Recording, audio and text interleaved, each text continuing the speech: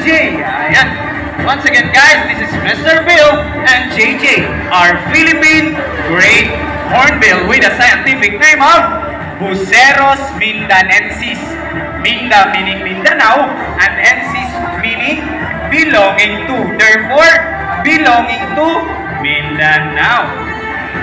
Ayan, as you can see guys, their bills or ang kanilang mga tuka, it comprises 30% of its body. So ngayong, ama, ngayong umaga, magpapakitang gila sila gamit ang kanilang mga tuka. But before that, I have a job for you to follow muna. At the count of three, you need to shout fly, okay? Practice muna. One, two, three! One more pa daw, folks. Mas energy pa. Okay, once again, at the count of three. One, two, kuya, mukhang ready na sila. Kuya, kayo, kuya, ready na ba kayo? Ayan, there we go. Now, guys, prepare your cameras. Mabilis lang to. At the count of three. One, two, three! And there we go. Ayan, ang galing. No, Moonwalk made famous by Michael Jackson. Atras yun, boy! eh, tama na baka mahulog ka sa table. No, at hindi lang yan guys.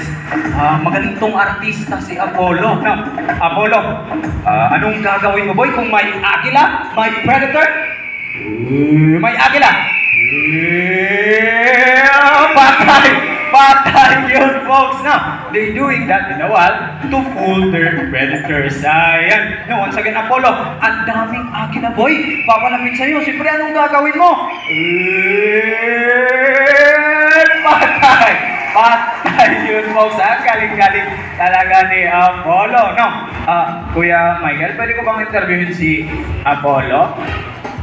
Ayan, mukhang pwede daw. No, dito tayo sa gitna, Kuya Mike. No, Paula, sumagot ka ng maayos, ha? Ah, look at Kuya Michael. Kamukha ba niya ang ating pabansang kamao na si Manny Pacquiao? Ay, hindi na, huwag na. Kay na, Jumbo. And Batshak! Sikat yun, boy! Wala kay kalaban, boy! Pang Iron Man! And there we go. Hindi ko kamay kuya, kasi mahulog sa table. Ay, and tama na. No, at to the kids out there, or maybe sa ating mga adults na hindi marunong magbike, tuturuan tayo ni Jumbo paano gumamit ng scooter. Ayan. Sakto na po, boy. And sikat. Ang labanan yun, boy. And tama ka. Kasi mahulog ka sa table. Now, you see guys, even our animals love to help our mother nature. You can also help by doing reduce, reuse, recycle, and repurpose, and some alternative ways for your transportation. Once again, guys, that is Jumbo at ang kanyang personal trainer na si Kuya Richie. Right. Exit stage left na sila. Now, moving on na po tayo sa ating next animal ambassador. 3 in 1 po ito. But before that, I have a question. Ito pala si Uno or Palawan Bearcat. Ayan. Now, the reason that there is bear in their name is because they are capable to standing up in their two hind, two hind legs. At syempre, papakita yan ni Uno. Ayan, there we go. Palakpakan po natin si Uno, guys. Now, Ah, ito, may I direct your attention into your left side. That is the older brother of Uno na si Teddy. Ayan. Wait lang folks, kay Kiabrihan pa ni Kuya Richie. So, sorry kayo Kuya Richie ha, mas masakayo mo. okay. Ayan, that is uh, Teddy guys, our Palawan Bearcat with a scientific name of Arctictis binturong, locally known as binturong guys.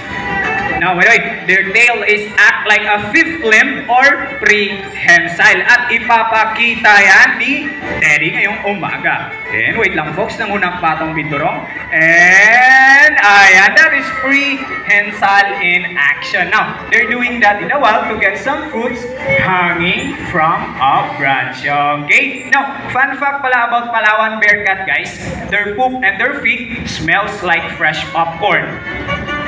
Yes po, pero bawal lang natin silang lamita, ah, lapitan ha, baka makagat pa kayo, makalmot pa kayo, magka-issue pa tayo. Pero we promise you guys, their poop and their feet smells like fresh popcorn, okay? Now, ah, omnivore pala ang ating mga Palawan Bearcat. Kumakain sila I'm going to go even now. Mga ni nagay mo diri Ayan no, para mo tap. One, two, three. One,